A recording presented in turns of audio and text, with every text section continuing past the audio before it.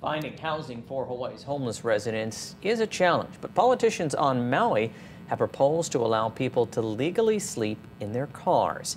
KITV4 Shanila Kabir takes a look at a new proposal before the City Council. The legislation to allow homeless people to sleep in their cars on Maui County property passed its first hearing Friday. The author, Councilmember Yuki Lei Sugimura, says this will serve as a safe zone for the growing amount of people becoming homeless.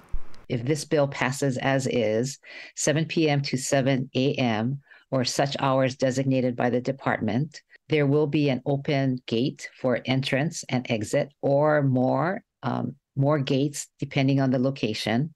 Sugimura says homelessness on Maui increased by more than 18% in the past year. Those who are interested must register with the Department of Housing before entering any parking site, which will be staffed with security guards.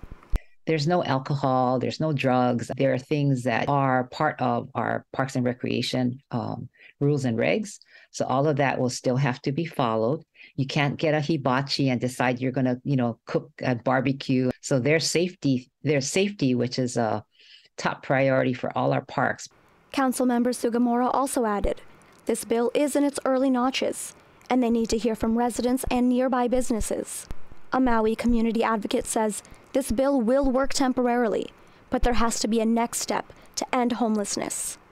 If they're just talking about utilizing the parking, there it's for me it's a band-aid.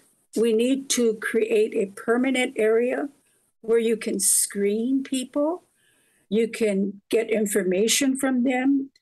Uh, the agencies are able to come and assist them and maybe relocate them into a more permanent situation. This program was granted $200,000 from the Department of Housing. And if passed in October, the pilot program will last for one year. Shanila Kabir, KITV4 Island News.